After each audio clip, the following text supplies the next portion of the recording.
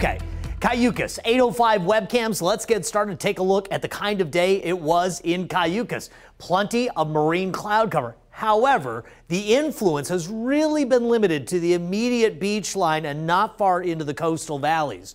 Gibraltar Peak time lapse. Take a look at the marine layer out in the distance over the water. Did clear out rather nicely today. Beautiful shot there. Fall began today at 1220, and that means the day and night was roughly equal, and the days get shorter from here. What kind of day was it? In Cuyama, 94 today, 69 in Lompoc, Goleta, 76, 84 Santa Barbara, 73 in Santa Maria, Atascadero, 93, 60 in Morro Bay.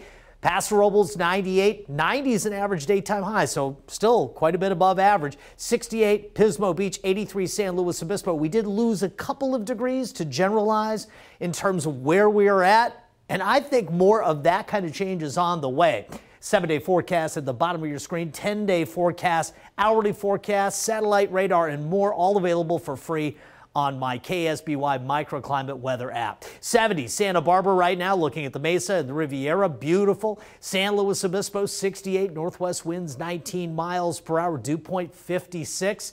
Avila Beach, another 805 webcam. By the way, check them out. They're our partner for these amazing cameras. 67, 29 mile per hour breeze in the area right now. You can see the low cloud deck moving into the coastal valleys already. So it's going to be a rather cool evening on the way.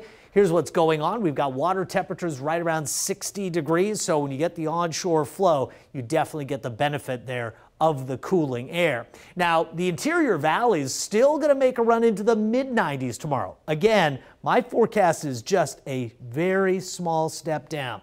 79 by 11 o'clock in the morning. Really pretty pleasant for the interior valleys. Coastal valleys, early low clouds, and then kind of a cloud sun mix. We're going to see some high clouds across the area as well. Temperatures still going to get into the mid to upper 70s. The west facing beaches, early and late marine layer with just a cloud sun mix in the afternoon, mid 60s. Again, just slightly cooler than today. And South Coast temperatures, again, just slightly cooler. We're looking at numbers into the middle 70s. Okay, let's talk a little bit about what could happen in this upcoming forecast. I'll be honest with you, models are not in great agreement right now, but here's what one is saying. We've got this little disturbance right down here to the south. It's going to linger and kind of wobble along the California and Arizona border. I don't think we get in on any of this activity here. Now, what's interesting beyond that, now we get into the weekend, there's a cold front right in here, starts marching toward Northern California and the Pacific Northwest. Rain and the front starting to work through San Francisco early next week.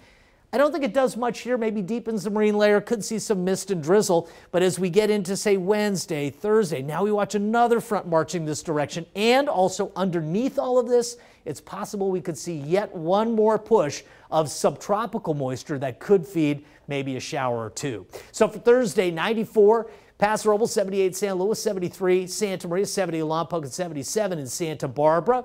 Overnight lows generally in the 50s.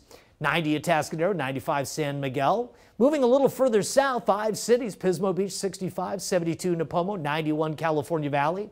Santa Ynez Valley temperatures near 90. Again, we're just making a little slide, and you'll see that right there on the seven day forecast. But when you add it all up across seven days, up to 10 degrees of cooling a little less at coastal environments. And more tonight at 6. Richard, Nina, back to you. All right, Dave, thank you.